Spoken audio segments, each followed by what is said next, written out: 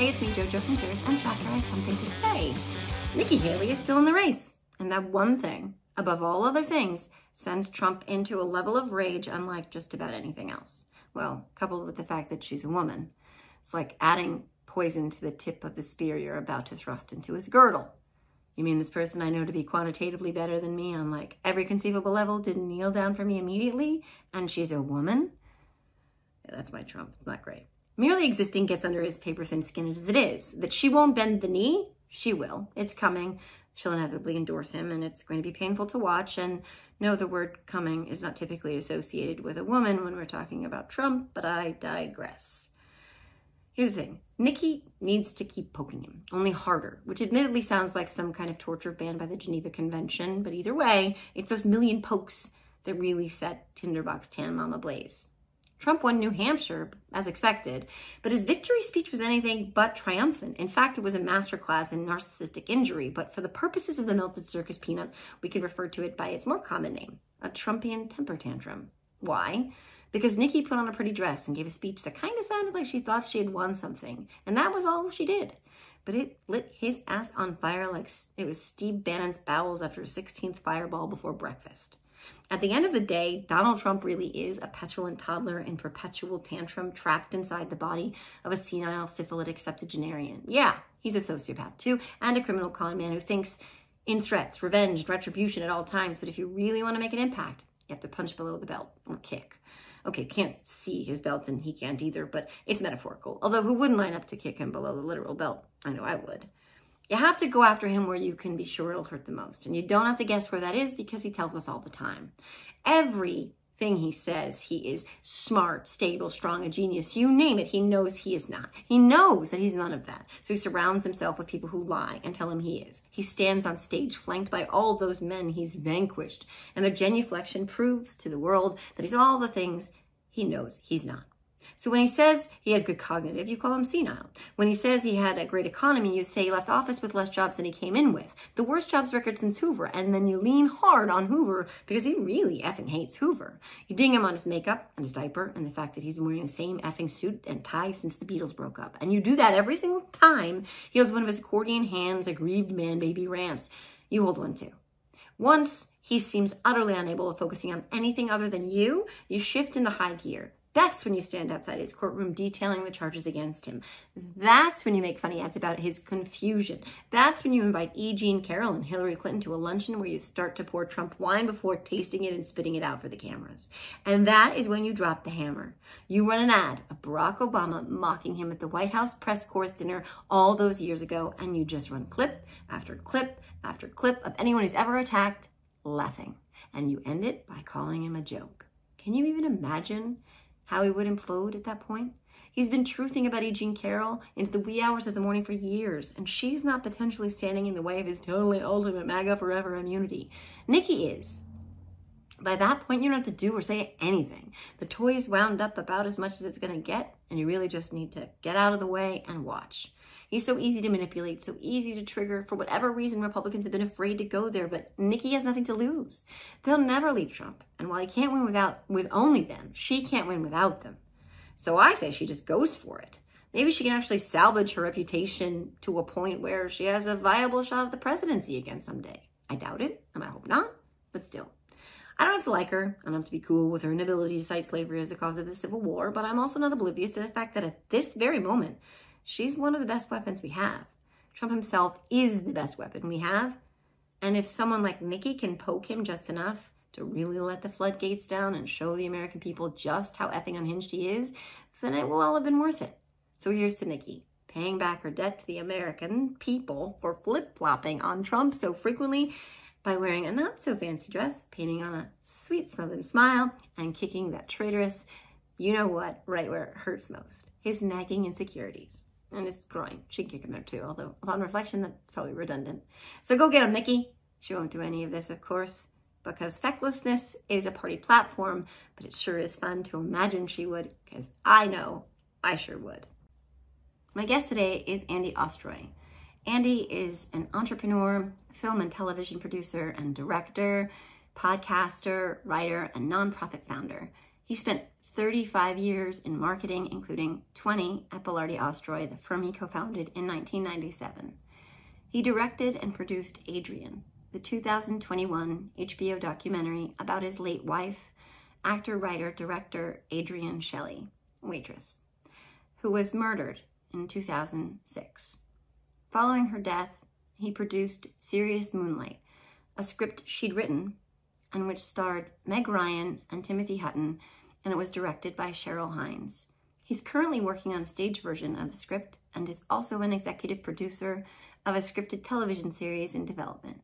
In 2006, he founded and is executive director of the Adrienne Shelly Foundation, which has awarded over 100 production grants to female filmmakers. I have talked to Andy a few times on his podcast, now mine, but also over the phone and, and you know, DM.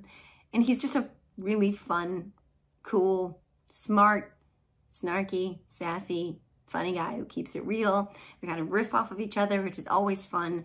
This is definitely a Trump heavy conversation, which personally I feel very comfortable doing, and Andy's really good at it too. So now that Donald Trump has to pay 83.3 million bucks plus the other six basically had to pay to E. Jean Carroll, it's kind of fun to sort of dump on him at the moment, always. But anyway, um, I really hope you enjoyed this episode and I'll see you next time. Welcome to the Are You Effing Kidding Me podcast, Andy Ostroy. Hey, JoJo. Hey, so I did yours and now you're doing my podcast. And I had such a good time on your podcast. I got to talk about myself for like an hour straight. this is like the adult version. When I was in, in kindergarten, we'd call this you show me yours and I'll show you mine. But now we're doing like the adult podcast version. yes. I did remember I did take off my shirt on yours. So it's only you, you do my podcast, I'll do yours. Something yeah. like that. Yeah, we but we would be under like I don't know what it was called that like jungle gym that was like you know like an arch and it we would be hiding under there and then I we would say circle yes or no do you want to do my podcast Andy that would be how that would yeah, go exactly so you circled yes thank you yes. yeah and I didn't really take my shirt off on your podcast that was a joke um no that was a joke we have the same kitchen joke. clock. How about that? Totally random. We have exactly the same kitchen clock, and my kitchen clock is, and to me, what your kitchen clock is to me, but like further away. So it's this whole very strange being wow. John Malkovich thing that's happening for me right now. Takes great time. it does. Actually, no, mine is stuck. I didn't change the battery. But again, I, I'm going to run off on a million tangents. I need to get uh, on task. So uh-huh. let's start with you just mm-hmm. posted mm-hmm. it. I just saw on what I so call Twitter. I think you do too. Some news that just broke. Jon Stewart is coming back to host the Daily Show on maybe just Mondays or maybe more. I didn't, you know, I I I didn't dive into the details. I was in the middle of something, but I saw it and I was like, wow, this is great. Best news. And uh so yeah, I'm well, what I what I initially saw was that he was coming back as an executive producer and sometimes host. I don't know what that means. Mm. Uh, maybe uh, obviously you you I think you have more information than I do at this point, but uh, I'm kind of hoping that it morphs into something more extensive than that. Uh, I can't. It's hard for me to believe that he has not been the host of that show for the last bazillion years during all this Trump craziness. He's what kept me and a billion other people sane. Oh, a thousand percent. And and I think also there's there's this other place that he fills a void, which is like people who kind of tuned out from traditional media and they're not really watching the news. They feel like, well, and we'll get into that too. The news is just both sidesing everything, et cetera, et cetera. They would watch him for their news, you know, which is crazy, but that was the way they could handle it, it was palatable for right. them. You know what I mm-hmm. mean? And I think a lot of those people are totally tapped out and they'll be like, oh, okay, well, I can watch Jon Stewart and that I think might save this fucking democracy. You never know. Yeah, no, I it's I think um it's, it's for me personally, it wasn't so much about his delivering the news, but just sort of making sense of it in a way that didn't make me want to go up on the roof and jump off. Yeah. So I'm very happy he's coming back because this year I think is going to be cray cray. Oh, we need it. And the thing too is like sometimes you think, am I crazy? Am I losing my mind for feeling this stuff right now in this crazy world that we're living in? And then Jon Stewart comes on, he's like, You're not fucking crazy. Right. This is crazy. And like you feel, he's like, he makes you feel like, okay, I'm not losing my mind. Like everyone out there is going, did Donald Trump just say that if Nikki Haley doesn't drop out of the race, that she's essentially, he's going to like, he's threatening her with investigations, but like it was such a mobster thing to do. But I feel like Jon Stewart would be like, yeah, this happened. He's a mobster. And that's yeah. what he did. And that's what he said. It's exactly what he said because he says all the quiet parts out loud. And it's going to be these these next five weeks or six weeks, whatever, between now and, and Super Tuesday and the South Carolina primary are going to be insane. He is going to be off the rails. And I was thinking, you know, Trump is so easy. His buttons are so easy to push. And he's losing his mind that she is is sort of out there kind of saying that she won. Yeah it's kind of ironic given w- what he's been doing since 2020. You know, it's very rich that the guy who eh, created the big lie and still perpetrates it is whining about somebody intimating that they won something that they didn't. But I think if she keeps doing that, as I think she did purposefully last night, yeah, he's going to lose his shit. Oh, and we saw that. We saw it. I mean, think about it. His victory speech was the most whining, mm lacking in graciousness speech ever. Like he should have just been happy. Hey, thanks, Nikki. You ran a good done. But the fact that he had listen, you got to listen to his words. His words were all about she's delusional. She thinks she won. Blah blah blah. Well, duh. Where we where have we heard that before?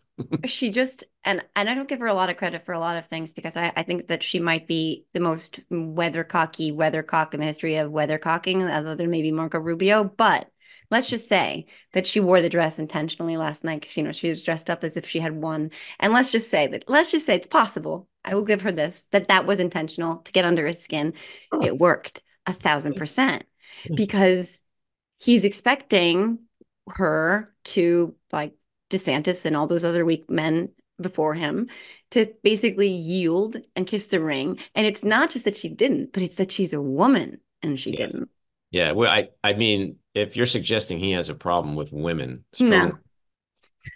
No, you're right. I think you hit on something. I think he is losing his mind that another woman is coming for him. and he's not, he, he's just not capable of saying, I'm so far ahead. What am I worrying about? Right. Mm-hmm. I just relish in my victory. But he he's mm. he's he's a toddler. And and if you understand him, the same way Putin understands him and has played him like a fiddle for the last nine years. If you understand Trump, it's not easy to to get his goat. Like he's he's he's got paper thin skin. He's he has crippling insecurities, mm-hmm. and he's all about size and and uh, optics. And all you got to do is just attack him from those fronts. And and you can really get to him and make him do and say really dumb things publicly. I think that's why the Lincoln Project has been so successful over the years because that's what they do. And that, you know, they there's that Michelle Obama quote about, you know, when they go low, we go high. And I don't always I know I don't subscribe to that as a philosophy in general most of the time when it comes to Republicans, but that doesn't work with Trump. no. You can't. No, you can't go no, if if they go low with Trump, you got to go like under the surface. You got to be underground where he can't even see you when it's happening. Well, or like under, maybe just under his stomach, which is you know like the like the taint area. I don't think he would know oh. if you were there. Oh. oh. sorry, sorry, he can't see it. By the way, I, I laughed really hard when you said it, folks. She went to the Trump taint. Oh, I'm gonna have That's that. not the first time I've been in my head for the next week. but you, you, I laughed really heartily when you said another woman was coming for him, and I don't know if you meant it to be funny, but I just, I no, no, I, it was not a pun intended, okay. but I get the pun now, and I, I, that sorry, one. that's where my head obviously goes yeah. pretty oh, early. Know. But yeah, I mean the. He is very easily. Played. And by the way, to riff on your joke, I have yeah. to just say, I'm willing to bet there was there have not been a lot of women coming for Trump in his life. Maybe none. Maybe none. At least not for long. No, no. He doesn't strike me as being a generous lover, if you know what I mean. well, no. and we have from Stormy's information from her intel. Yes. Yeah. Right. We have in, we have inside info. Literally. Yeah. Yeah. Oh Now that- God. Wow. now that everyone's and now that everyone's turned this podcast off because I mentioned his taint and and Either they've turned it off or they've gotten rid of everything else that's going on in the house so they could just focus on this. just they really want to have they want to listen to us have a conversation about Trump's taint. Um, but getting back to um Trump and how easily, you know, like manipulated he is because he is he is a toddler you said it i think of him as like this petulant perpetually tantruming toddler like wrapped up in this senile syphilitic septuagenarian that's the way i describe him I mean that's really what he is and it's always because he's not just a toddler he's tantruming all the time like he he's Veruca Salt like he wants the golden goose but it's just like he's never Veruca satisfied Salt. Nice right reference. Oh, thank you. Um, and that's the person character, not the band. But um, but he that's what you're right. He's so easy to be so easy to play in that way because he's already he's already everything's it's just all you have to do is scratch just a little bit and it all just comes pouring out. And he What do we say to him? Your why was your rally so small? yeah, Like he'll go off the deep end. right. It's crazy.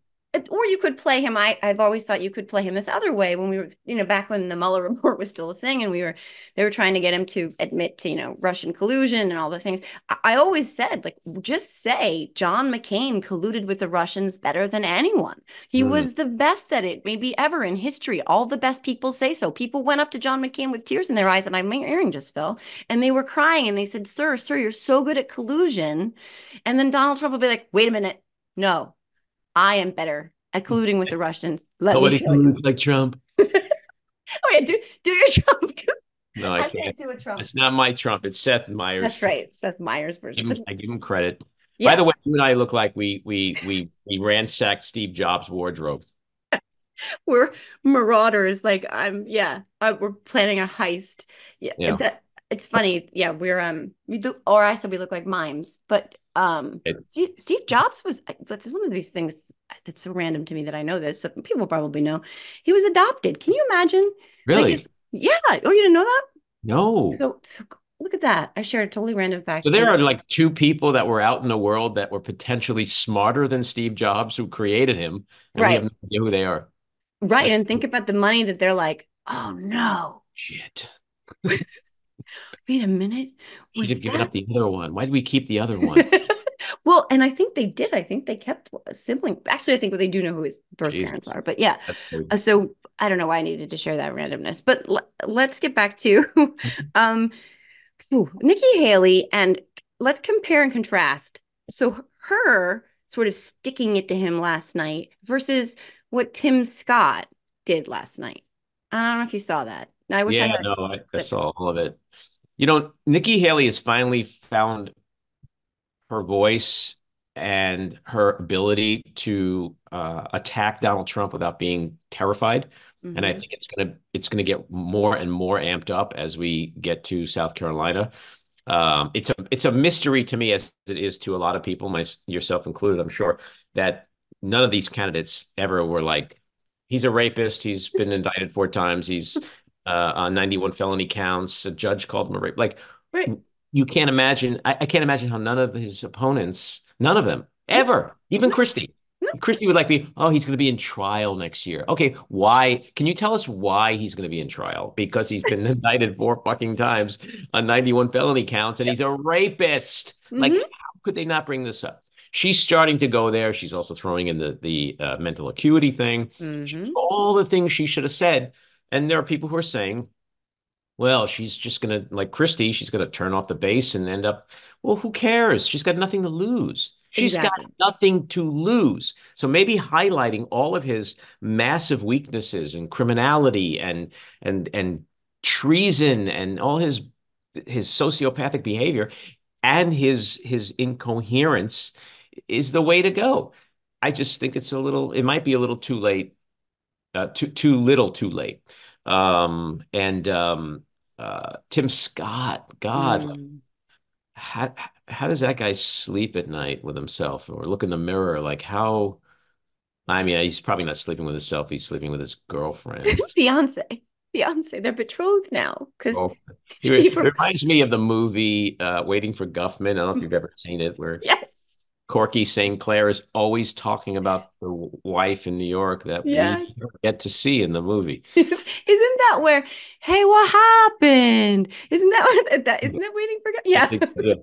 and so I, I, can't. I mean, I just how he subjected himself to that kind of humiliation last night. It it it was painful, and I don't really care for Tim Scott. I couldn't care about Tim Scott, but just I'm an empath, so it's really hard to uh, get me to a place where I can't even see some kind of c- compassion or feel compassion or sympathy or empathy.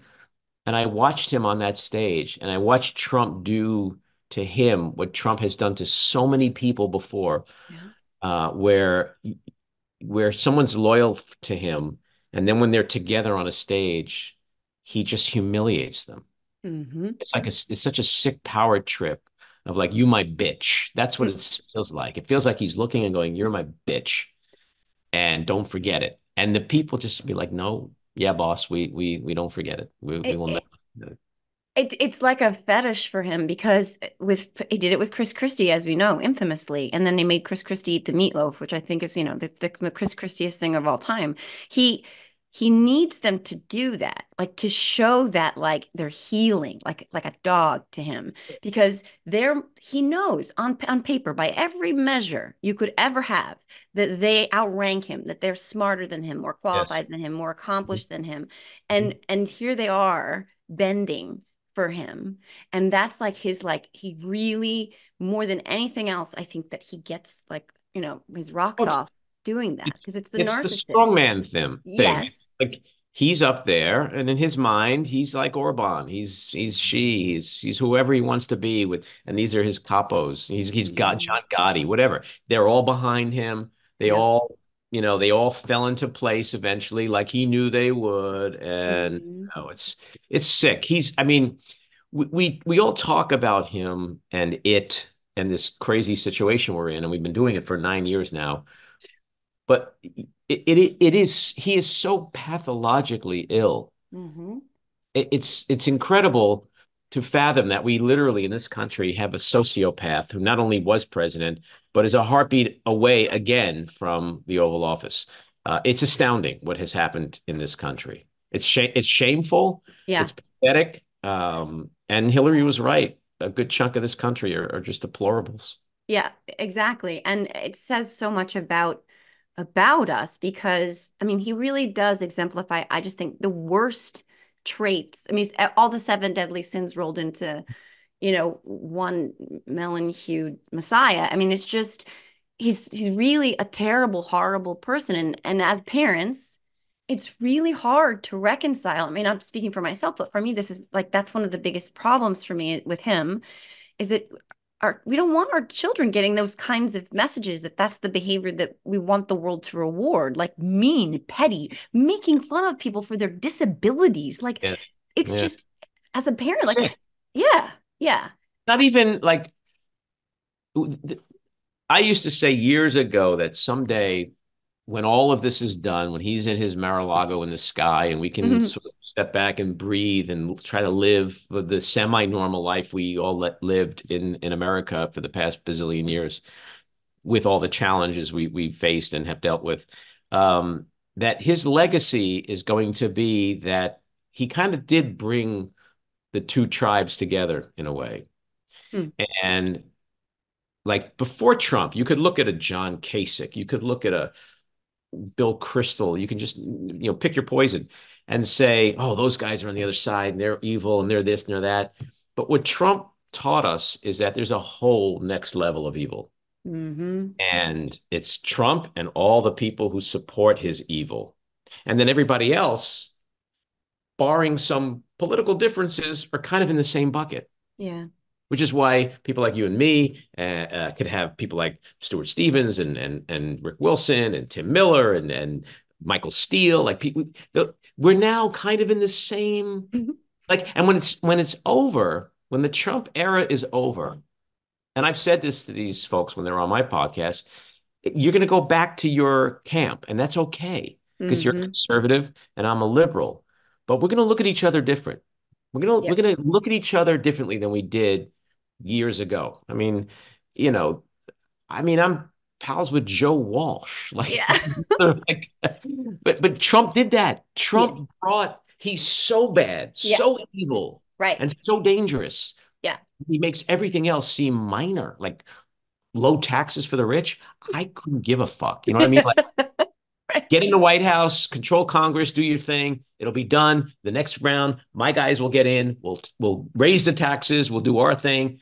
That just seems like elementary living now. It's like now Oh, we're yeah. fighting for our, the survival of our democracy. We're fighting for decency, civility, truth, reality. Like, and it's crazy. The people on the other side of the aisle that we've grown to know and love, like they're they they are on this. They're in the same battle trenches with us, and that's that's going to be his ultimate legacy, I think. I think that's absolutely spot on. And it's fascinating because some of my closest friends, I say this all the time, are former Republicans, people that Yeah. I, I mean, I used to battle my dad, who was a Republican up until W. I used to battle him all the time, but we always ended the conversations with, like, okay, what do you want for dinner?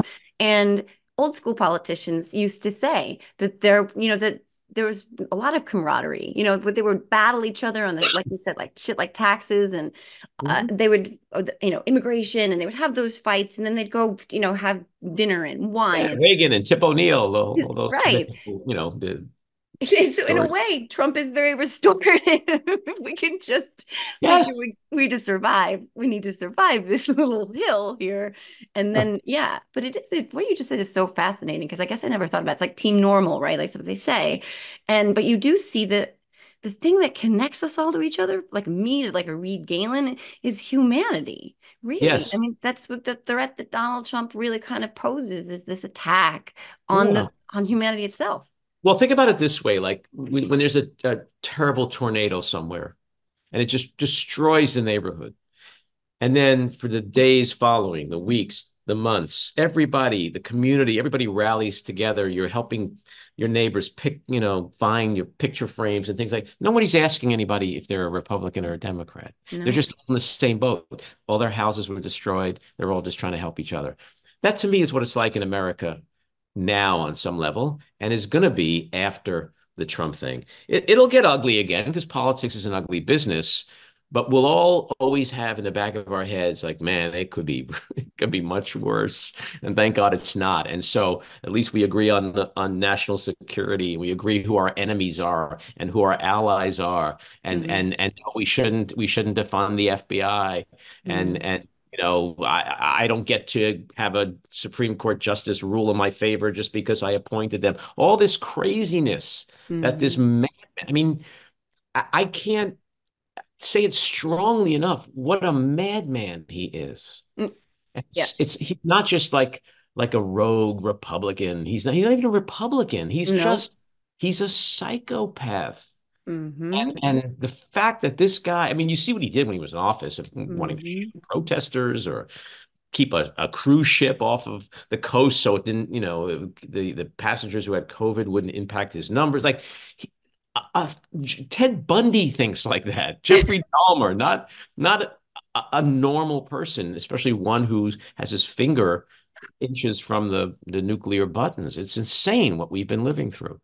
And he asked the Department of Homeland Security. I don't know if you've talked to Miles Taylor, but you should if you haven't. He's Yeah, he's he's fantastic. It- Mhm. so he asked, he really did ask about shooting people trying to cross the border. He asked Yeah. about a moat filled Yeah. with alligators or electrifying it or putting spikes on top. Like you said, this is like Ted Bundy. Ted Bundy? Am I thinking Al Bundy? Ted Bundy. Yeah. Ted Bundy, very different from Al Not Bundy. Al Bundy. Very Al Bundy different. I don't- I don't think Al- he was, he was a douche too, but he was funny. yes, exactly. And he was But- fake. He wasn't real. That's that's the real. No, and, and Ed O'Neill is an amazing actor, and he really did that pull that character off. But but he also, by the way, bragged. And was- I knew he was going to do this. I never brag about being right about anything, but he's so predictable now. He he said the story broke that he had enriched himself while president, and it was like seven point million dollars. And I said, just watch. He's gonna brag and say that he did that and that it means he's smart.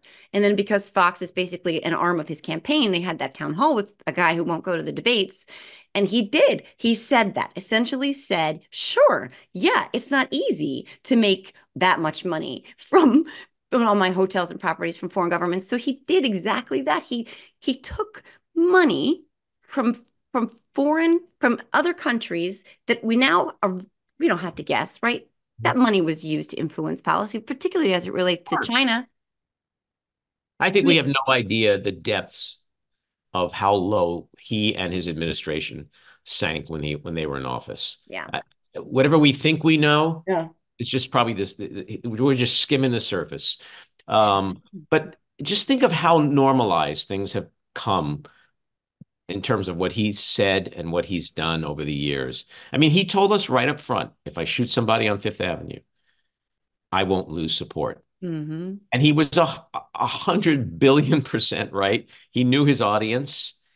But now what he's saying, it's like the, the, the upgraded version of that is not only could I shoot someone on Fifth Avenue, but I shouldn't even be arrested and prosecuted for it. Right. I'm I'm above the law. Yep. I mean, I could literally assassinate Mm-hmm. my opponents using the U.S. military. Not even like some, you know, go to Jersey City and like, you know, hire some hitman, you know, hey, just fifty thousand Right. dollars, knock off Biden. I can use the millet SEAL Team 6 Mhm. and his lawyers in a court of law in the United States are arguing that he should be able to do that. That's how nuts it's become. Imagine Obama. Imagine Obama saying, I could shoot somebody on Fifth Avenue. People would, it would be the biggest story in the world. What is wrong?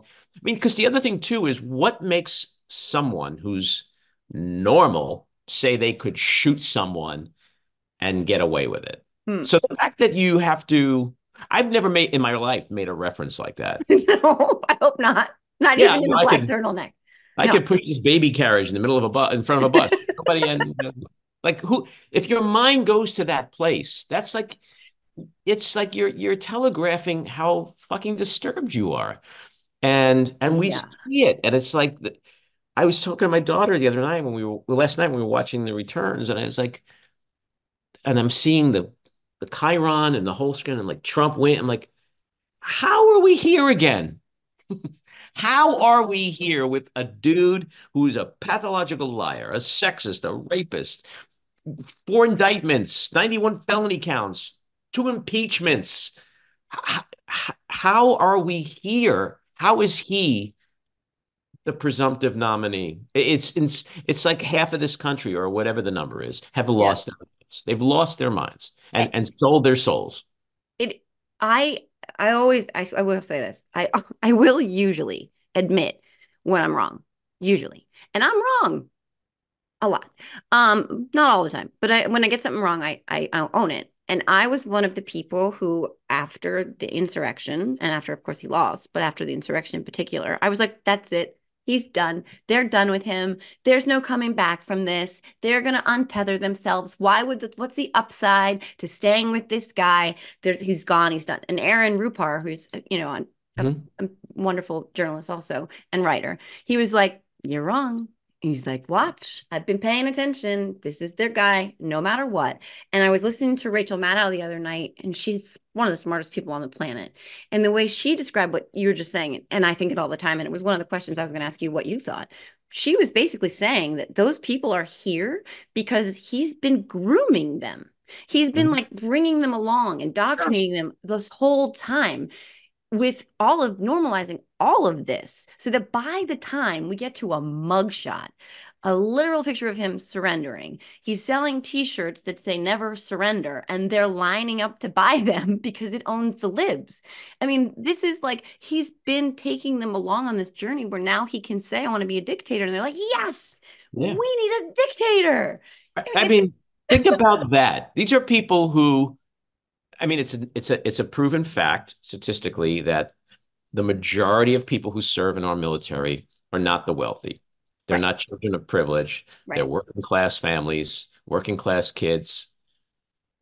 The fact that people who have served this country over the years, over the generations, grandfathers, fathers, they themselves to go fight strongmen, to fight tyranny, to fight fascism and Nazism and and fight dictatorships so that we can preserve our freedom here in this country.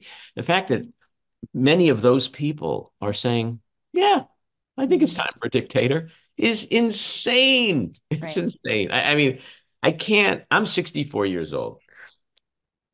I, I I never thought in my life I'd see in this country what is happening. It is it is unbelievable. It really is unbelievable. Sometimes I just have to go, I, is this a dream or nightmare? Because this can't be happening.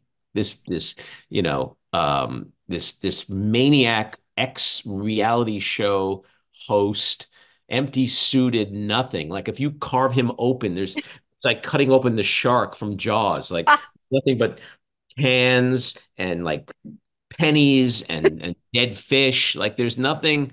He doesn't have organs. He's not none of them. None of that family. I I think they might actually be from another planet. They might actually be because we've been seeing a lot of the UFOs in the sky lately. Like we might be being invaded. that might be the like they were the first to land in America, and and and literally they are like it's, like subhuman. They don't they don't respond to things. It, you know, I could walk down the street and and see the worst human being in the world. If I see him get hit by a car, I'm gonna be like, oh my god, I run.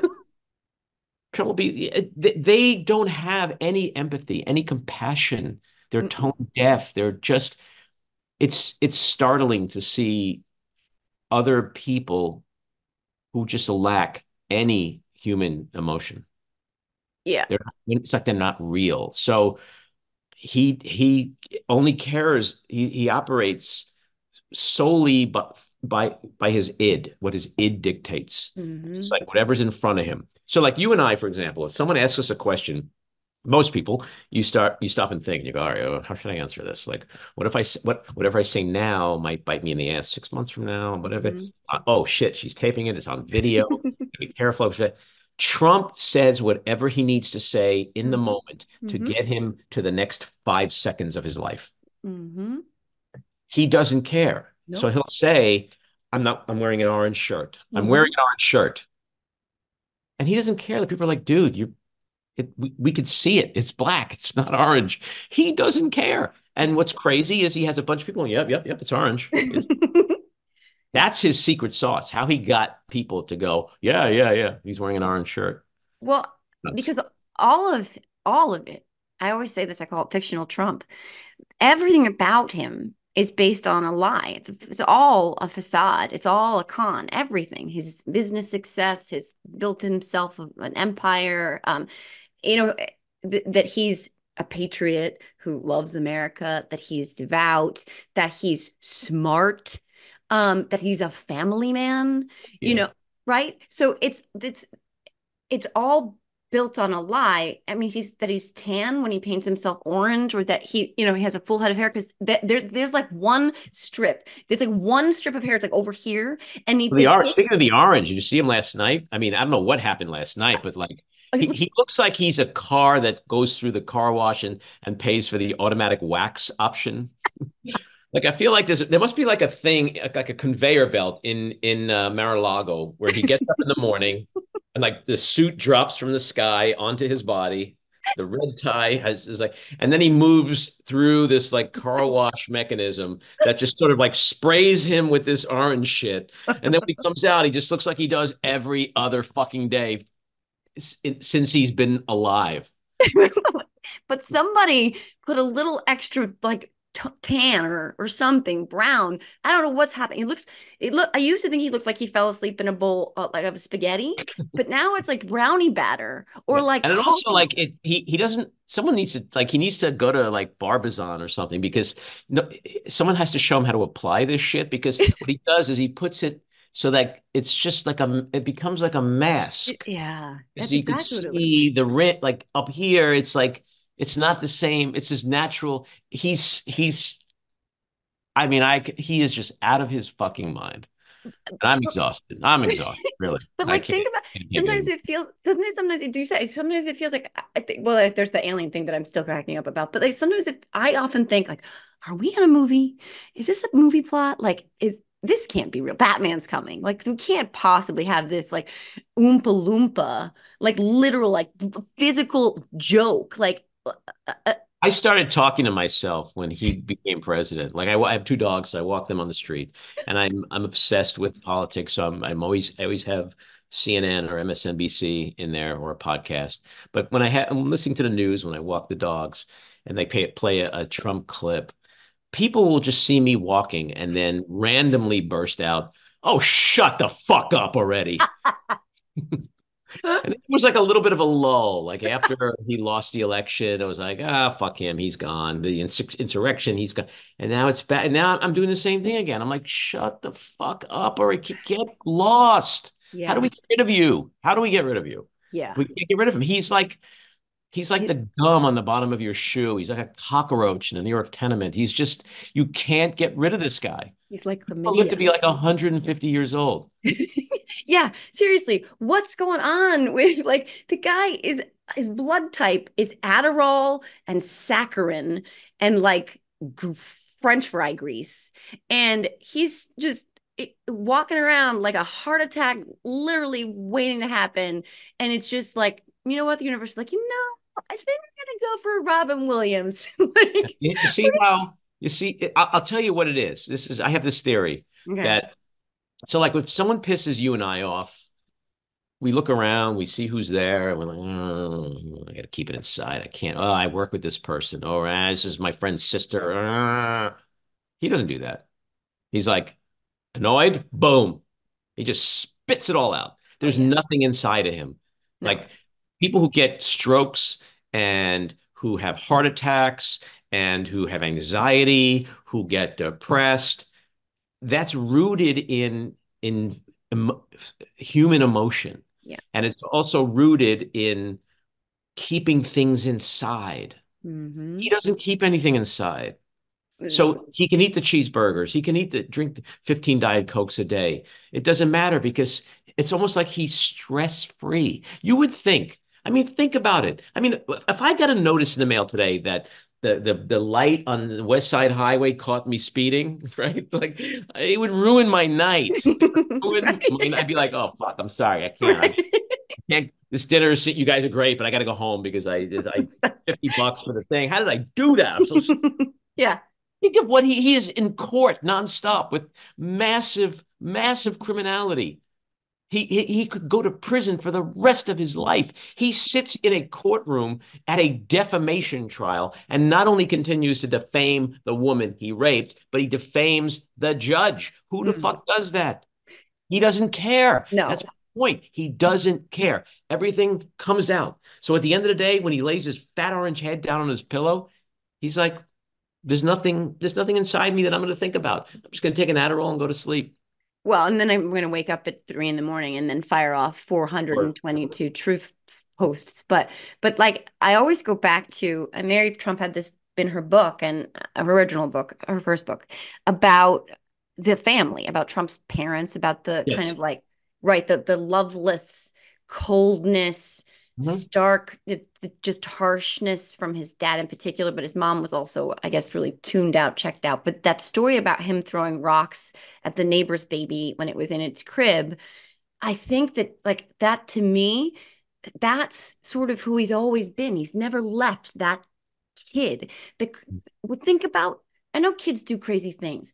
And I, I, did lots of crazy things when I was a kid. I really did. I, was not always the nicest kid. I, I painted one boy with green paint because I could. And what? I was in kindergarten. Yeah. Was that, finger, that was, yeah, I'm not proud of it, but I've, I've, I've evolved. That's the difference, right? So he never did. He never stopped being, think about what it would take for you at five, at five, at five, you know better to take a handful of rocks and see a baby sleeping and think, I'm going to throw these rocks at that baby. And maybe, I don't know what'll happen. Like that's sociopathic, but that yeah. comes from, I think, nature, nurture, but both. But like that household feels like, and the one he created after for his own children, it feels like, like a vice grip on your soul. And then it stunts you at a certain point. That's that's like a I'm not a psychologist by any stretch of the imagination, but I know that people get stunted by trauma. And I think he's stuck as a that five-year-old kid who was just just evil and no care in the world for like maybe I'll kill that baby. I don't know. And his kids seem to be the same way. I mean, yes. especially Junior. Maybe Ivanka, the, the you know the, the the the least of it, but um, it's a very dysfunctional family. There's mm-hmm. there's there's got to be a complete utter, utter lack of love. Uh, yeah. Uh, I don't know if he's capable. Do you think? I mean, can you imagine Trump being capable of love? Does he feel love? Can you can you imagine that? I can. I often have opined about like when they say that Trump is, especially when they say that he loves our troops, that's the one of all of them that bothers me the most. Like, I don't care if you call him religious when I know that he like literally worships every Sunday at Our Lady of the Perpetual Mulligan. I don't care. I don't take that one personally. I take it personally when the guy who said that the that the fallen heroes of war were suckers and losers, the guy who asked John Kelly, who lost his son to war, asked him, I don't get it. What was in it for them when they died? Like when they say that he loves our troops, that's the one, like that's the one that sets me off like the most. Mm-hmm. Like because it's it's just like you said. I mean, all of those young men and boys who went off to war and and women later, you know, and and fought and died for this country and to think that like uh, the commander in chief has such little regard more than that i would say because of the way he hates he has disdain for them. Yes exactly. I mean you just look at the way he talked about mccain the way he still talks about mccain. Sure. and how again it goes back to the question of like how does someone and i have these in my own family people who were served in the military who support him who voted for him twice. I don't hmm. understand that. But you have to suspend you have to you're like basically suspending reality. Like you just you can't you can't exist in a real space and also support him if that's true, right? Well, the the my theory on him and his support uh, uh, is, is there's two overriding factors. Not everybody agrees with me, but I can't come up with any other explanation. The first thing is he said it himself. I love the uneducated. Yeah. So he has dumbed down a good chunk of this country to where they just forgot how to think if they were ever able to think in the first place. Yeah. Second thing is racism. These people still cannot get over the fact that there was a black family in the White House. Yeah. That drives them over every core principle or ethic or moral thought they've ever had in their heads. He is their guy because he wants to take this country back to when those people, no matter how fucking dumb they were or unsuccessful, still had the edge. Mm-hmm. And that's it. It's not economic anxiety. Some of these people have t- plenty of money. It's not yeah. about that. It's about, you know, black people have their place. Gays should be prevented from being in society openly. Women should be barefoot and pregnant in the kitchen. Blah blah blah. The good old fifties. That's what they want. Make America mm-hmm. great again is nothing more than make America white again and mm-hmm. and heterosexual again and male again and blah blah blah they can't stand the change that has come over this country. And and so everything they teach their kids not to be they'll accept it from him because of that. Yeah i think you're you're absolutely right there. And i think that what happened too is oh god Reed Galen again. He has this great quote about the intersection of like uh, i forget what it is. I need to look it up. As luck and timing? But because of what you just said because of the the timing of you know Obama's successful eight years in office, people were triggered, didn't know that something like that would trigger them. A lot of people, like there are people who were more blatantly and overtly racist, right? That they would just say this stuff out loud. But then there were the people who like the thoughts were there in their minds, and they thought, I can't say that out loud. Like I'm ashamed of those feelings, and so I'm just going to tuck them inside, right? Well, they had all those feelings for eight years and then this this guy comes on the scene who's like you know those feelings? You know those feelings you're ashamed of? Stop being ashamed of them. Don't feel ashamed. Lean into them. Yes. i want you to feel empowered by those. That's exactly it. And that try and try and like take that drug away from people. Mm-hmm. good luck. well, makes people feel less threatened because you know when they say things like you know he sounds like us well, you really shouldn't want your president to sound like you. I think I'm a pretty smart guy. I'm educated.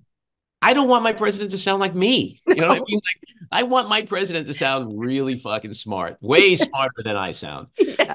And and they don't want that. They Mhm. want him to sound like the like Uncle Harry who comes to the barbecue and starts telling Asian jokes. That's what Yeah. they because that's all the rallies are. You think they're going to the rallies to talk to hear about debts and debt and deficits? They're going to see the Jerry Springer show. They want to be entertained. Yeah. And so that's all he is. But it's Yeah. like, really, that's that's so that's who you want. Why not go to there's plenty of comedy clubs out there. Right. Go. You could be entertained.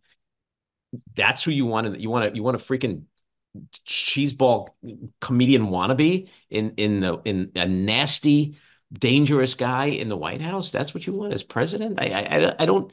And the, the fact is, we haven't even gone to this conversation. But it's like he's not one of them, No. right? He He offers them them. nothing. No. They, in fact, when they vote for him, they're voting for a billionaire who Yep. who represents everything that their life is not about, hmm right? So they're Mhm. voting against their own self-interests when they do all this. That's the craziest thing.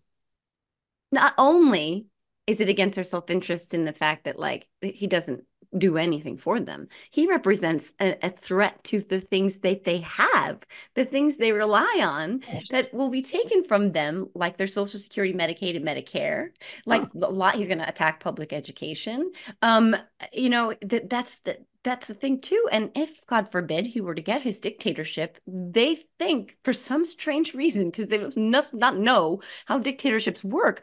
Nobody's going into like you know Mon Pa Magus house in in Shoot Your Dinner, Arkansas, and being like, "Yes, it is your moment to ascend to the oligarchy of America." No, they're going to go to the work camps, and then somebody's going to come in and take their money. Mhm. That's how that's going to work. And if they have a Yeah. pretty daughter, they might take her too. And by the way, if you have a kid with special needs or God forbid happens to be disabled, well, forget that. They're screwed if they survive at all. Like, but Yeah. they they're so they're so selectively and willfully like deluded. It's cognitive dissonance, and it's not Yes. a, a total lack of connecting dots. Like, okay, absolute immunity. Right. Can he march into your house and, and rape your daughter? As long as the Senate doesn't convict him. That's what you're saying. That's what you're saying. Like if he if he can if they're arguing he can assassinate his opponents. Right. Raping a teenage girl seems a lot less than that, right? Like is that what you're saying that it's okay for him to rape your daughter? Cuz that's the shit we're dealing with. This is the landscape you are trying to harvest here. They Mhm. don't connect the dots. And that's what happens to dictatorship. It's like it starts off with he's like me, I'm good.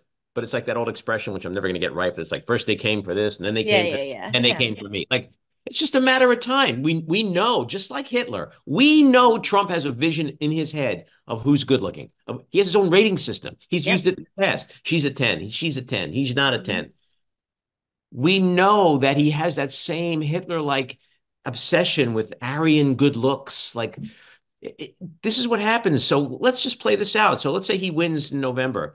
Uh, maybe maybe it takes him a year or two, but he's so drunk with his authoritarianism that he starts to sit there like Mussolini used to do and go, "What can I do today? I'll Mhm. get rid of the gays." Mhm. And then when I'm done getting rid of the gays, I'll get rid of the Jews and and the and the Puerto Ricans and the Italians. The, it, that's what a dictator does because he can do whatever he wants. And then the, the people who, you know, and his enforcers, whether it's the military or whatever, I, I I just wish people in this country would understand how a democracy unravels. They should watch Babylon Berlin. I don't know if you've ever watched it, but it's an amazing show on TV, uh, uh, Netflix, I think, and it's about like the late 20s Berlin like as Hitler was just starting to get his brown shirts together and try to get into the system.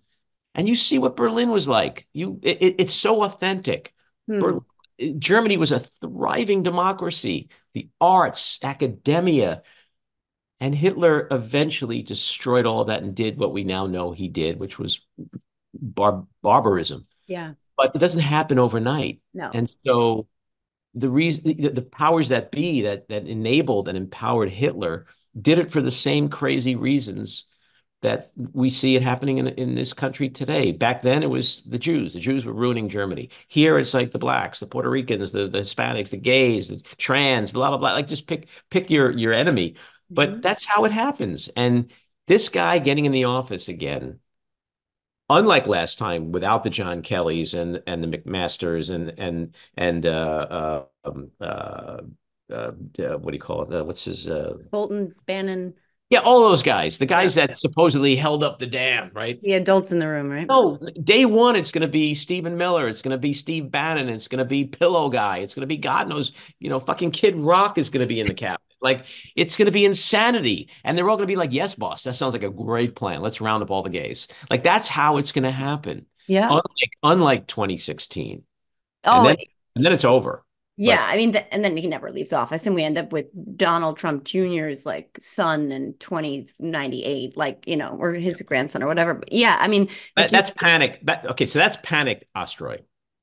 Okay, well, realistic okay. Ostroy is a diff- is a different animal. Well, let's well well first let me just say that yes this is definitely playbook because what you know that now they believe this this othering thing is this huge component to it obviously so is the violence inciting and stoking but like this othering thing so like in germany it was the jews and and and what they've done now is it's just this nebulous they them those people and it's mm-hmm. like they are coming for your insert insert the blank variable whatever it is they're coming for it and it, it, it's it's scary and we you know what things are not working to keep them away from you traditionally so we need someone a strong man to come in and break the rules because the rules need to be broken because the rules aren't working and that he's the only one who's fighting for you. He's the only one that will protect you and so that's that's what you need and that's exactly how it happens and that's how it happened in germany and that's how it would happen here if panicked joe if that came to fruition as well. But let's let's just go back to reasonable rational andy and reasonable rational joe which doesn't usually exist but what does reasonable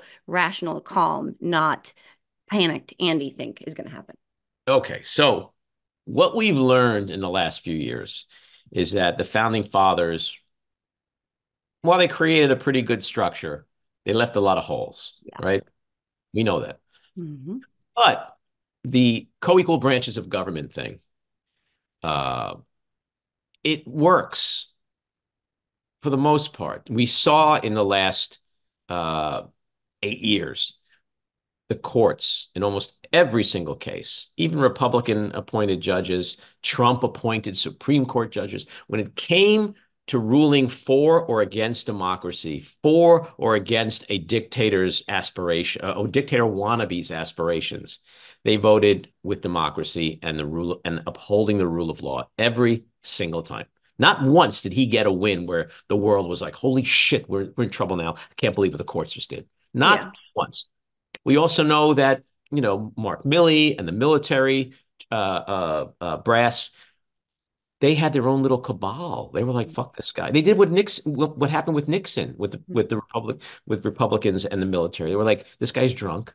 Mm-hmm. So if he gives an order, you run it by us first which is astounding. When I saw that, I was like, wow, that's that's awesome because right. I don't think the military is going to support this guy with he's not going to be marching down Washington, uh, Pennsylvania Avenue sitting on top of a tank. It's not going to happen. So mm-hmm. when you mm-hmm. think about the courts, when you think about the military, and you think about the media, he really can't take over the way a dictator would like. So where can he take over? Well, he can co-opt Congress. He's already done that. Yep. So that can get worse.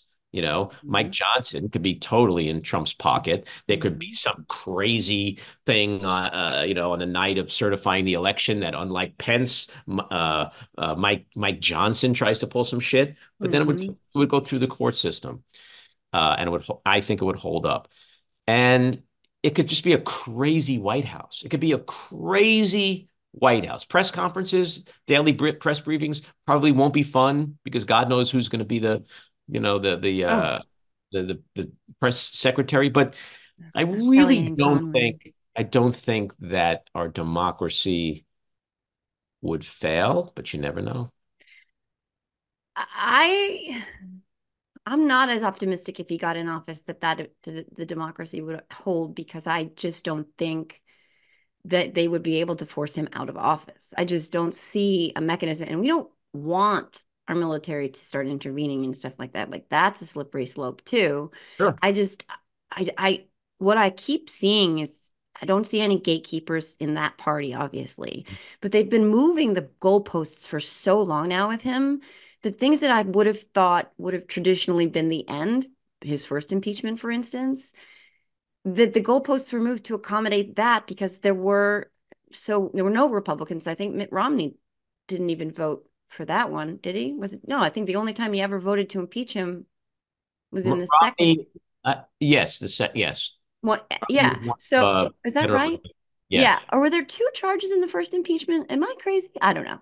Um, maybe I'm thinking there were. But but either way, what discourages me is that back to those holes in the f- in the founding fathers' vision and framework for this country, what he's done is he's exposed them, but he also finds a way to occupy them and then normalize them and then institutionalize them so that the party itself is complicit in like in supporting and embracing them. So mm. I'm not as optimistic in that regard, which is mm. why I'm much more focused, at least Sure. theoretically. on Well, look. I mean, you know, famous last words are when people say, "Oh, never, never, never." Oh, right. You know, I I think the the the House is going to flip back to Democrats because of what they're doing.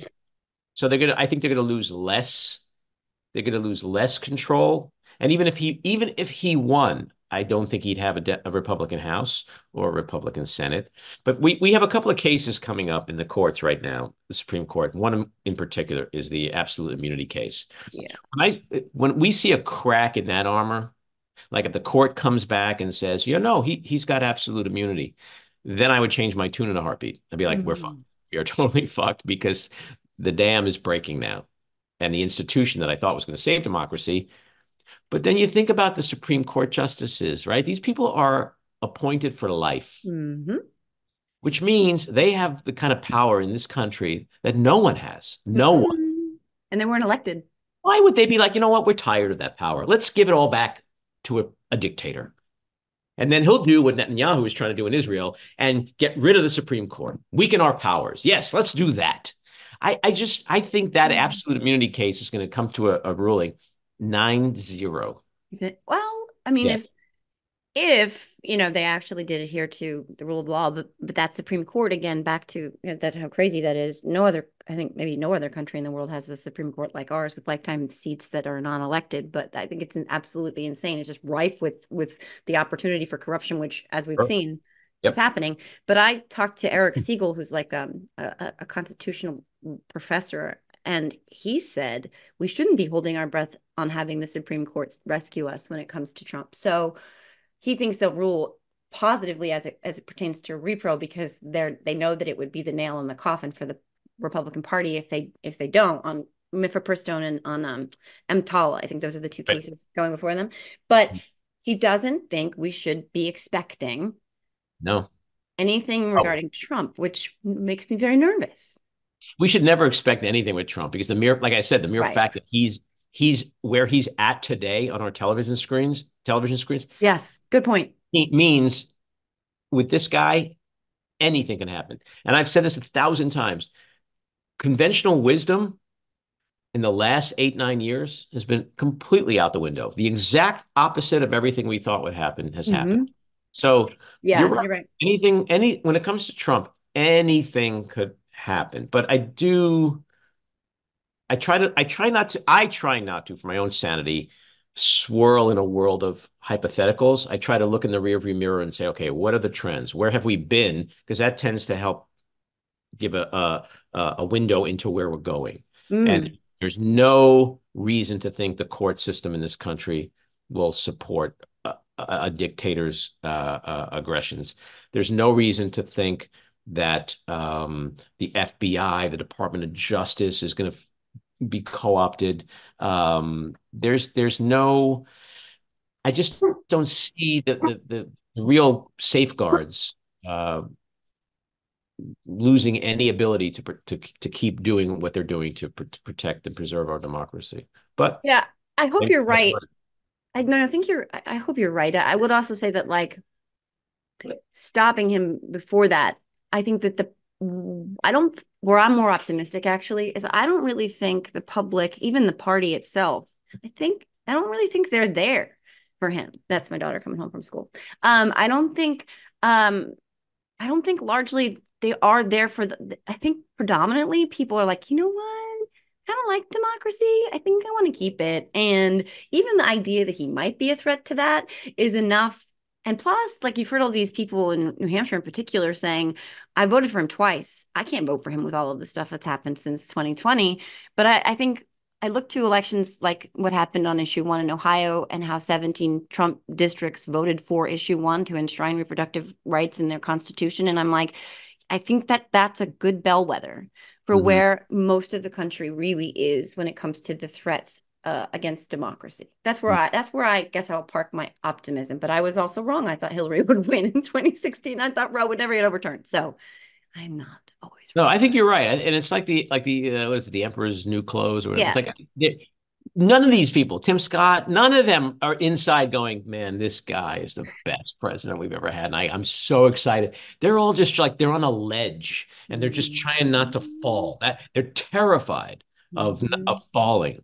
And to them, falling means having him and his, his minions, his brainwashed cultists, uh, unleash their torrent of of of of hate and anger and mocking and whatever you know. They fear the tweets they fear the truth social posts. And it's it's they're just cowards. They're such cowards. That's the thing. It's like at the end of the day they're just cowards. Kevin mccarthy lindsey graham all of them. Cowards Rubio, ted cruz yeah. And they I talk mean, about democrats we're the we're the snowflakes fuck yeah. off. And and they're so far afield now as a party that they don't even have they're rudderless. They don't even have platform or policy in particular like these house republicans they're just maga i mean whatever.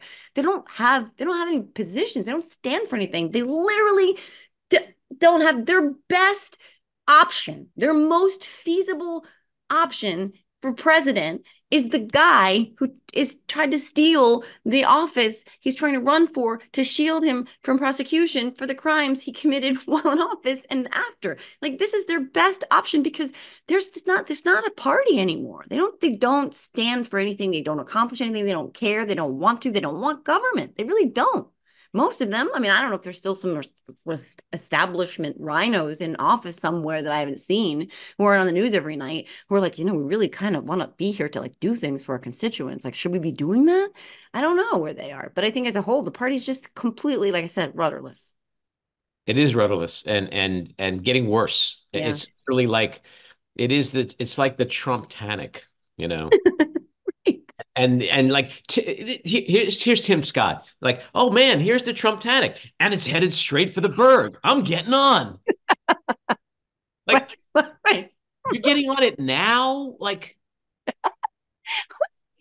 like, well, there is that slight chance that it'll miss the iceberg, and then I'll become a cabinet member and that'll happen. That's like, I mean, it's just, I mean, the calculations here. Uh, Rick Rick Wilson's book, "Everything Trump Touches Dies." It it has proved right every single fucking time. time. Except for his tiny, tiny, tiny, tiny inner circle of Steve Bannon, who who also got thrown out under a bus at one point.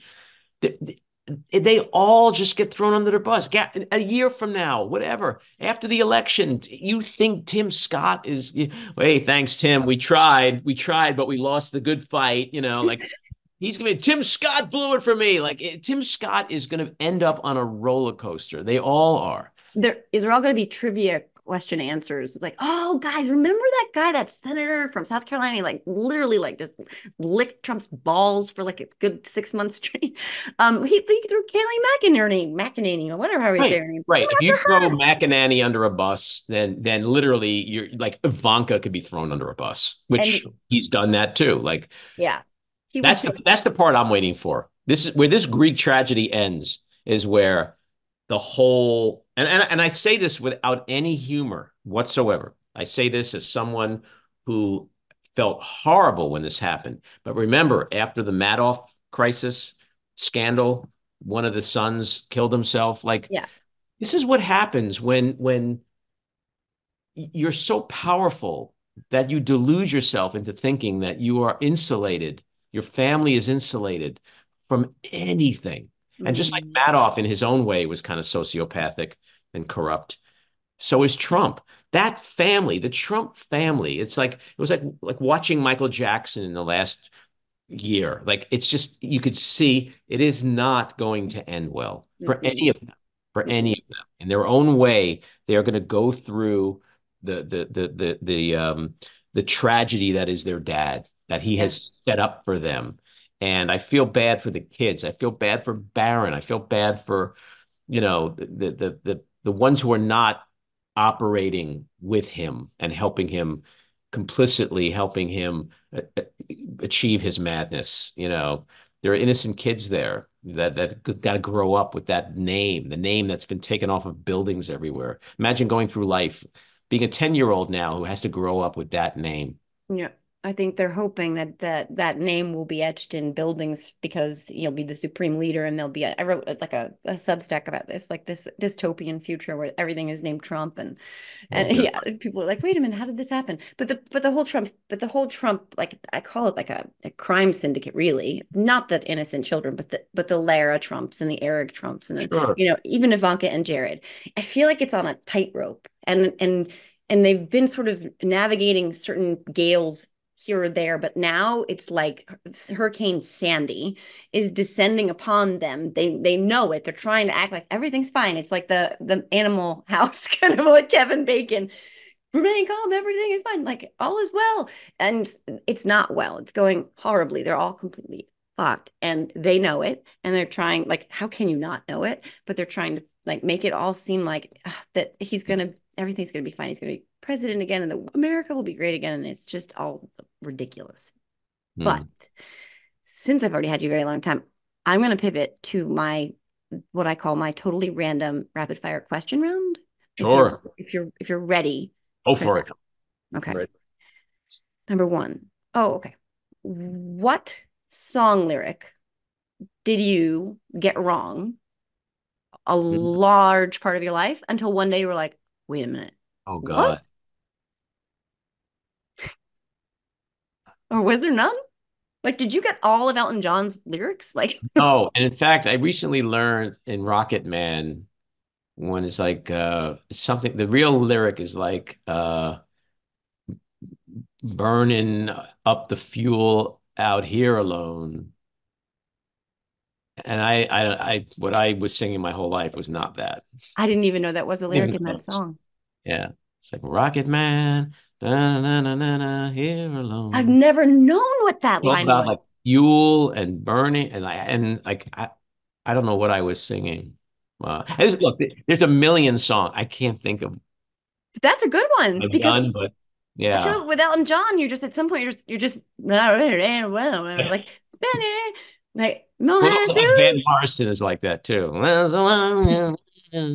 Like, what is he singing? I think he went like all weird anti-vax. But uh, for me, I would always too. There was two. It was like the a Bad Moon on the Rise was bathroom on the right. There's a bathroom on the right, and That works. makes sense, right? But then this one makes no sense. We don't carry lighters. Big old jet airliner. We don't carry Oh, lighters. oh, we don't care. Uh-huh. But why would anyone write a song about that? Yeah. I, I wish I could remember. I know I have a million. Oh, you have a cat. I feel bad when I learn. Yeah, I have two cats, two cats, Oh. two dogs, and a fuckload of fish. yeah, I just feel like every Elton John song ever, especially Benny and the Jets, I'm like, I don't know what you're saying, but I'm gonna just sing along. Um, although I made a point to learn Levon, to learn all the lyrics to that one, because Levon Oh, a- is one of That's Like, a tough like one. it's That's a one of good his most- song. Yeah, I don't the lyrics. Levon. It sells balloons What is all day.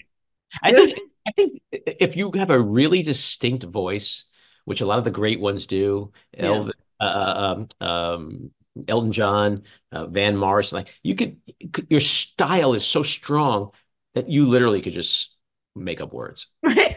Mick Jagger. Like Van Morrison could literally be like, ah, ah, ah, we don't Right. care. It's just Nobody like his voice is so amazing and Yeah. smooth. It's like the melody is great. It's like, who cares what he's saying? Nobody cares. If I don't, Joe Cocker really could. Honestly, Joe Cocker could sing anything, and if it was just complete mumbo jumbo, I would be fine because I think he's got one of the greatest voices of all time. But okay, question two: What's something you did when you were younger that you can't imagine doing now?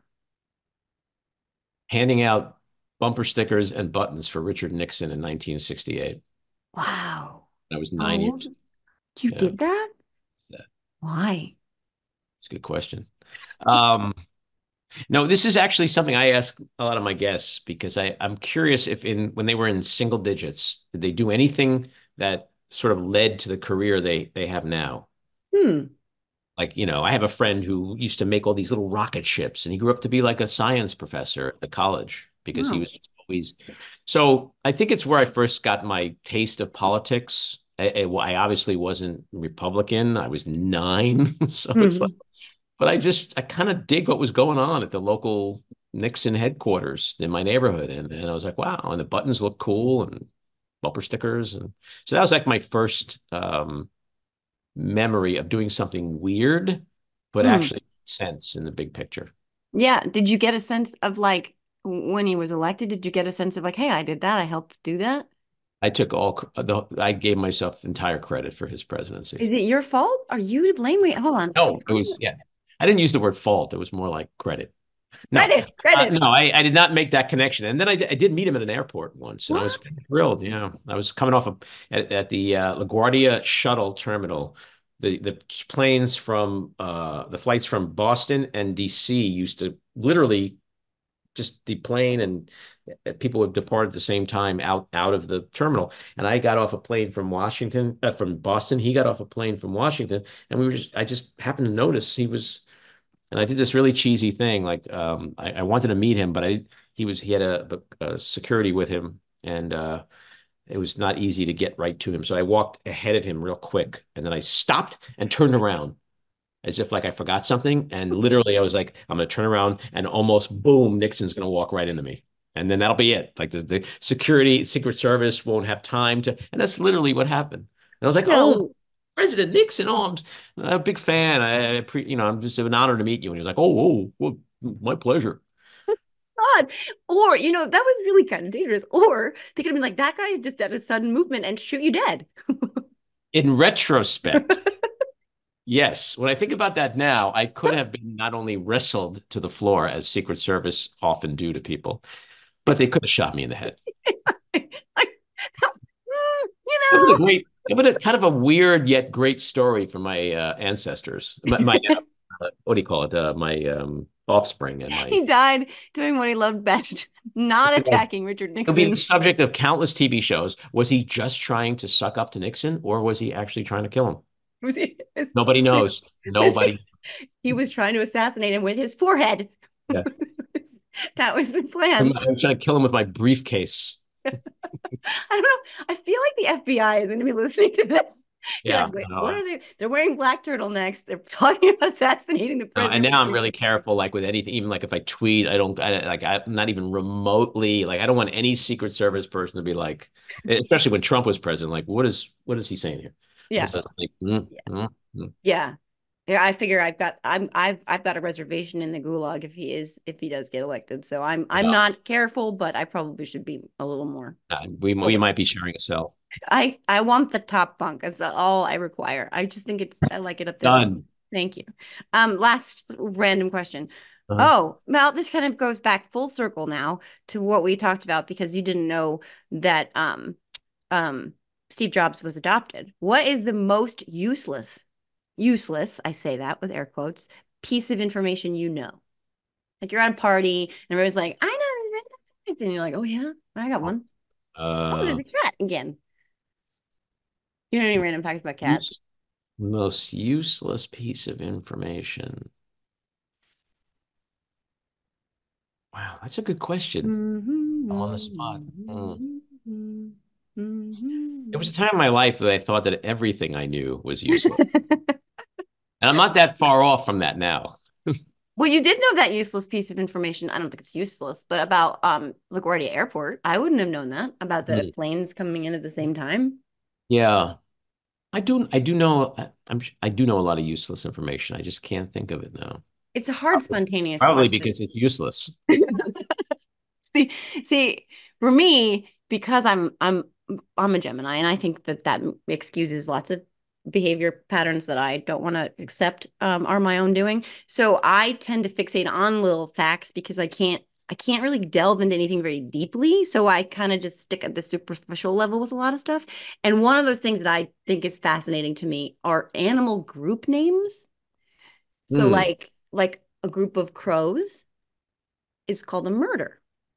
A murder? A murder of crows. Wow. In fact, I forget what the band name was now. Black Crowes? Counting Counting Crows. Counting Crows. Yeah, I think one of their first out their first album maybe was Murder of Crows. And like and it's that it, it I will send you down a rabbit hole. I will send everybody down a rabbit hole because once you get started, you're like, wait a minute, is that a tuxedo of penguins? What a, a crash of rhinos?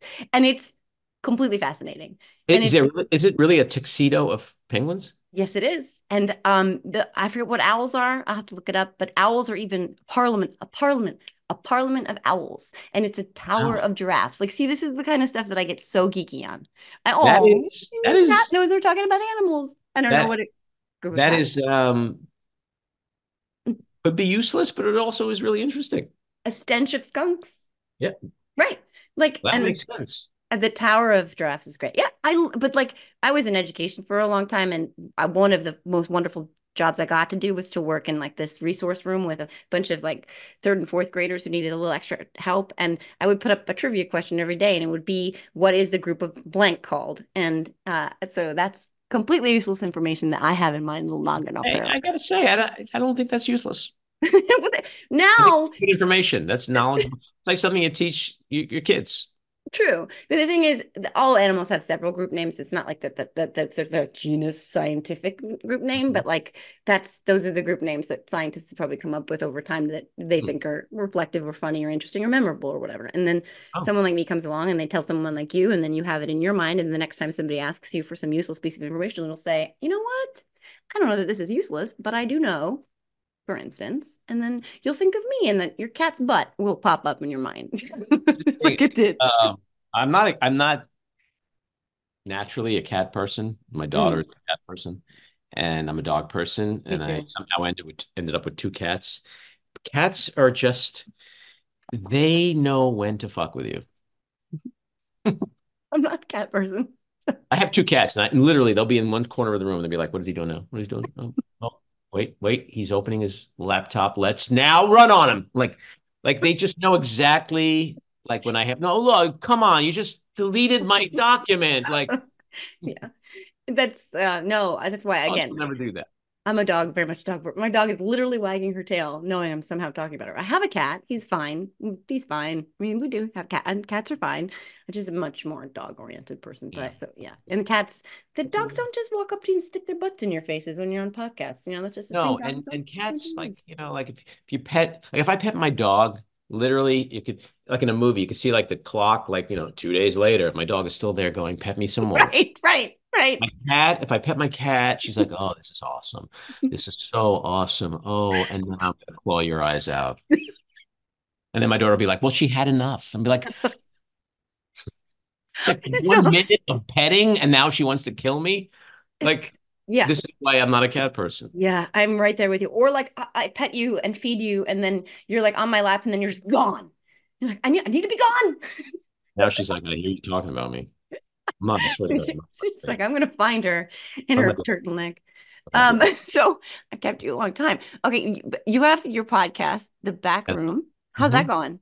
Great. I am having the most fun I've ever had in my life. That's awesome. Yeah. That's good.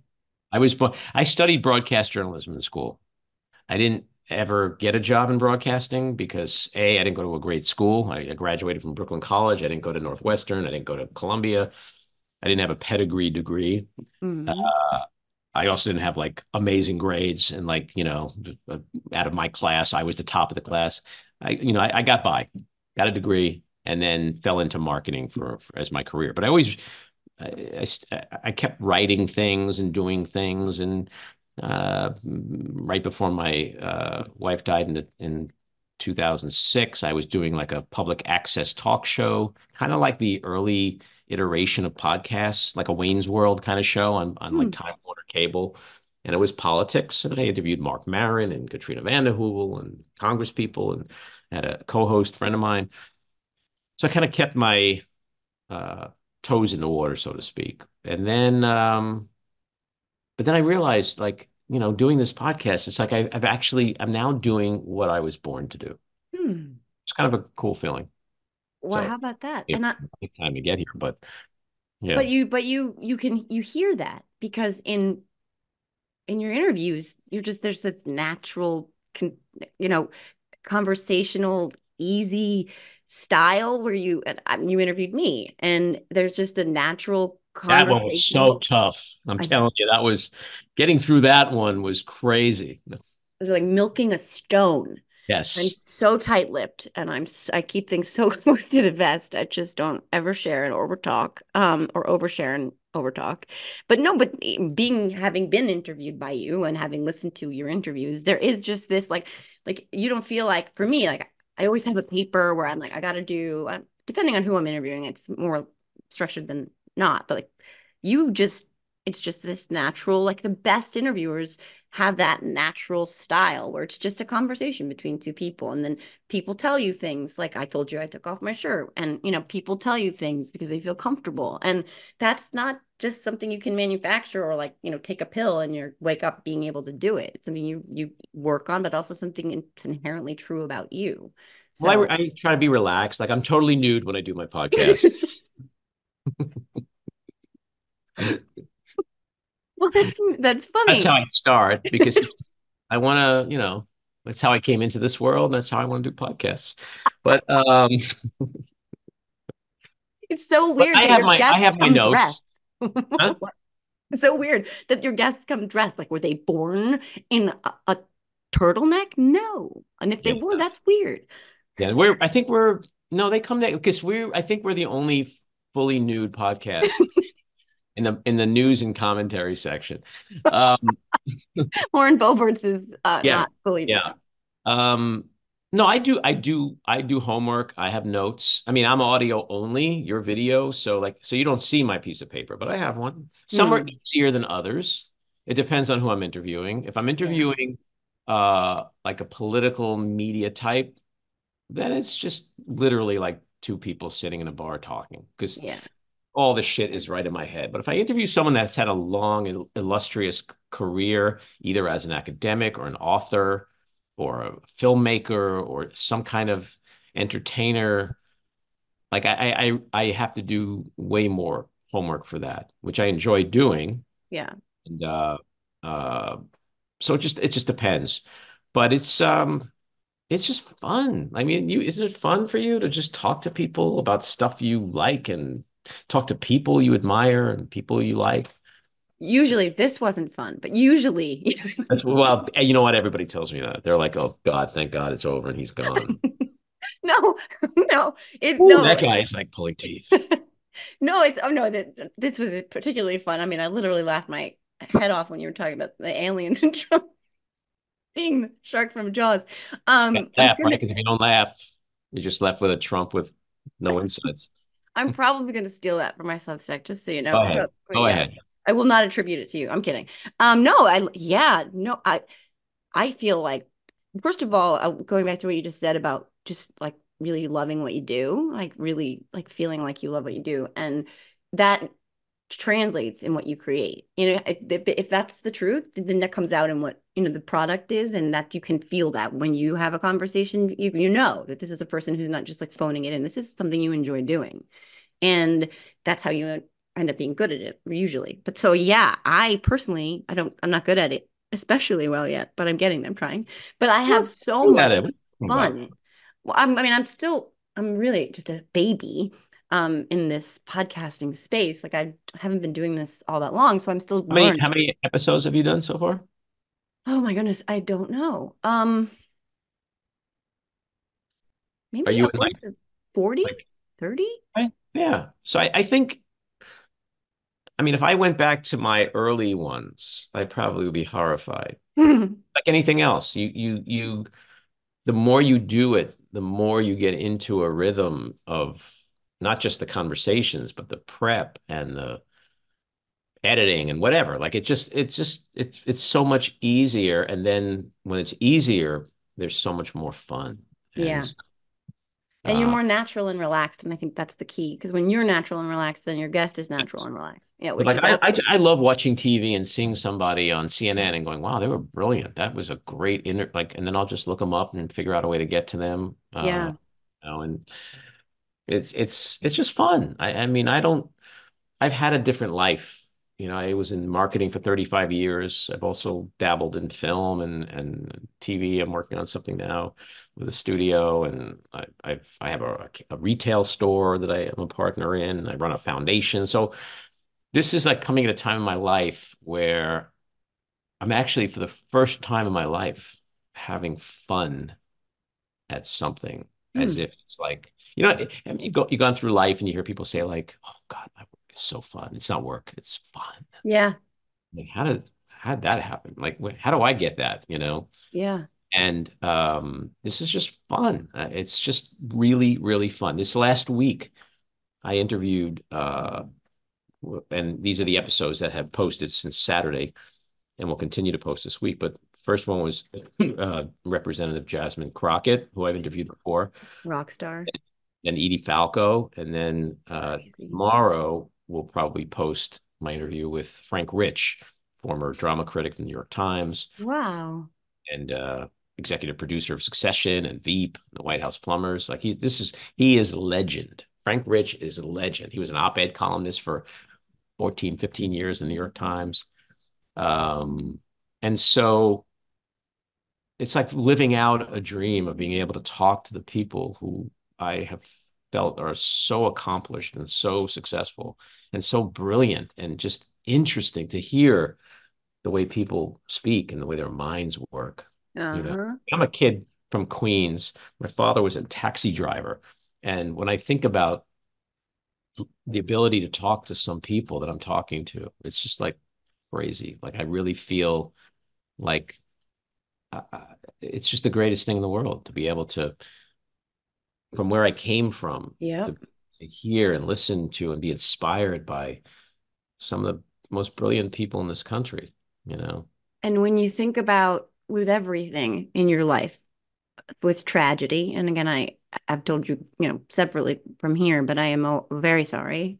My, you know, my heart breaks for you for the loss of your wife. That is a horrible tragedy, and I I know I can't even imagine um, what that is like to deal with still, and especially then.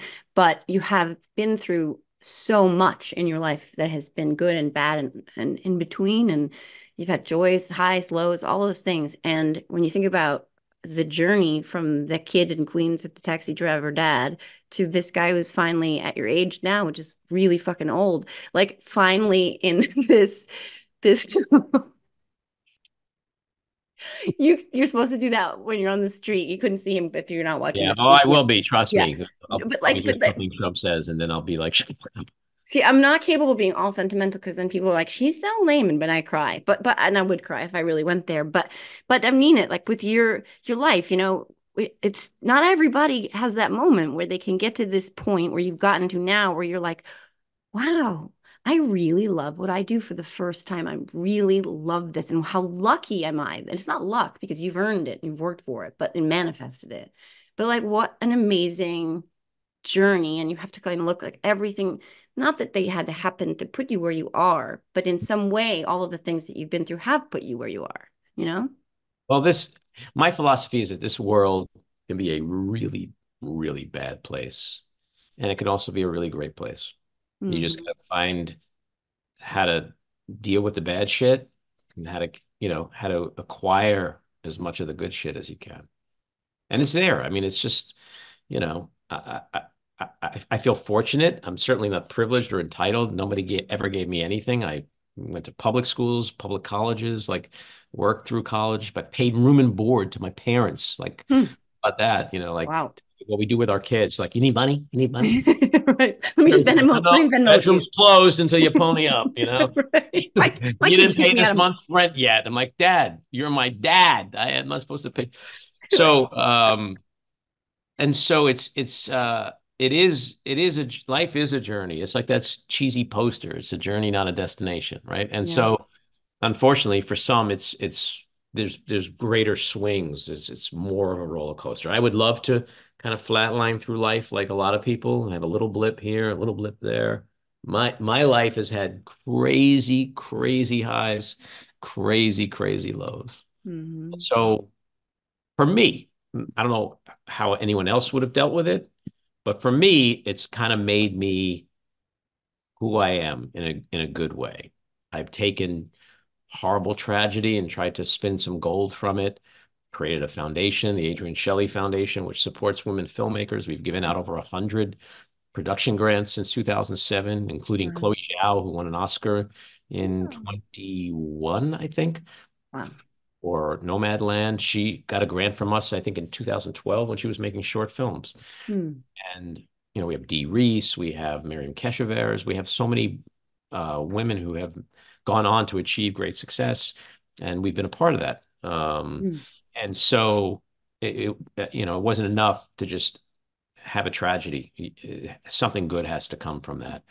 And so, I just I take the good with the bad. You know, I have my bad like everybody else. Everybody's got bad. You know, Mhm. um, and we all have some kind of trauma in our Yeah. life, and we all learn to deal with that trauma. Some people have tra trauma with kids. Some people have trauma with relatives dying of heart disease. Some people have car accidents. Joe Biden, our president, look at his. Yeah. Um, everybody's got something, and we're all faced with that choice of what do we do now? You know, made my Mm. choices. They, they've, you know, I hope they've been good for my family, for my daughter, and I think they've been good for me and how I deal with life's up and downs. But Mhm. you know, and it's not like it's over. Like there's more life. You know, Yeah. I Right. hope to, to be a hundred. So it's like, oh my God, 35 more years of ups and downs. Like I don't know if I can take that. But yeah, but I think that we talked about this again, bringing this whole thing full circle about humanity. You know what I mean? I think, um, you know, all of the ups and downs and you paying it forward and you understanding that, you know, there's not, I wouldn't say opportunity, but there are things you can do to turn tragedies into opportunities for others. That, you know, I think that's definitely this this this idea of humanity that that that weaves us connects us together. And that's the thing that like makes us find this connection with people who were across the aisle from us a few years ago well a lifetime ago. But Mhm. it's it's this that's where i feel like that's where we win this this war you know? It's like finding the connections in each other when you know, everything else is, is ten- sending us the opposite messages which is division and um you know and and fighting. And uh so that's something that I think is really fantastic about you. Um, is that you can lean into that and you have conversations that are just human con connection conversations, um, sometimes bigger than that, but obviously that's a component of it. And I think it's so important. Yeah, no, I, I've had people on my show who I, I call my tragedy buddies, people I've met along the way who have had real horror in their lives, like real like crime horror, murder, shit like that, because it's like a it's a little it's a little group, a private group that you know you you you it's a shorthand that you speak with people. You they walked your shoes, you walk their shoes, and so I try to bring that into the podcast a bit, you know, uh, so that maybe it inspires someone who's going through something or been through something that you know uh, that you you can. I mean, I, my friend Kevin and, and his wife uh, Marina, they they had two of their kids early on murdered by the nanny, and my friend uh, uh, Chrissy, her husband was stabbed to death on a street in Brooklyn. Like it's just, it's all over. You see it. I mean, just pick up the New York Post or the Daily News every day. There's stories like this every day, Yeah. but we don't know them and maybe it's a good thing that that's we don't we don't it's always over there until it's over Mhm. for me it became over here and then once it became over here then i started to m- make an effort in a way to meet other people who had something like that because it the, it's really helped get through you know when when people can wade through all the platitudes and and know how life sucks and and because they've been there in that same way Yeah. so um you know Yeah. a lot of people that go through that Yeah, and and I talked to school shooting survivors and talked to Fred Guttenberg and Brett Cross and others who've lost loved ones in school shootings, and and they have this same thing where you just said, "Well, I would always sort of think it was over there, it was happening to somebody else until I was the one it was happening to," and then they you know, like you do, weaving it into just what you do in your life. Like for them, there's this idea that like they want to go out and share these stories and humanize these things that are happening so that other people don't just have this disconnect. You know, it's like there's a real human connection so that we don't get numb to stuff because we can't. Mhm. Well, on that happy note, um, Oh, well, wah, wah. no, you want to talk about now? Hey, can we talk about genocide? Like, what? oh God, Jesus, I just laughed at that. What's wrong with me? I must have like coins and cans inside of me too. I am also the shark from Jaws. Um, yeah. Can edit it. What's that? yeah, definitely edit out the part where yeah, it in post. no. Uh, But uh, you know, uh, honestly, as, as heavy as things are, this is life, right? This is the, this is the ebb and flow that is life. It's not always one way or the other. And even when, when it feels really dark and it feels overwhelming, you feel like you're going to succumb to it all, it, like even the crazy with Trump, there's there's you have to find a a, a buoy or a buddy or like a life vest, unless you're That's- Tim Scott and you're getting on the Titanic, in which case the life vest is not going to help you. he's in, he's in for a bumpy ride. yes, I I often compare it to that um that submersible too. It's like yeah, they're all getting on the submersible and they're like, let's go to the bottom. Yeah, good luck. Happy trips. I mean, happy trails. Whatever. I don't know what you say when people go submersibling, but um, well, I guess uh that really does conclude this episode. Um, thank you again, Andy. This was fantastic. It was it was a journey. It really was. It was like it was a meandering road, and I appreciate that you were uh, on that road with me for this long. So thank you for that. And right after this, uh, you and I are going to Steve Jobs con, right? We, we're all we're dressed up for the. It's like yeah, the Javits Center. We're going to it's a it's it's a it's a crossover event. Um, yeah, right, between Steve Jobs and mimes. Yes. So it's a very, very specific sect of the population. Um, yeah, podcasting, Steve Jobs cosplaying mimes. Um, well, Thanks, yeah, thanks for having me. This was great. I really enjoyed this. I really enjoyed it too. And thank you for um, having the clock that's made me think I'm in John being John Malkovich. And thank you to your cat's butt for making several appearances on the video. Quite a butt. All right. Well, uh, thank you, Andy, and everybody else. Annie, you too have a great week. Everybody else, see you next week.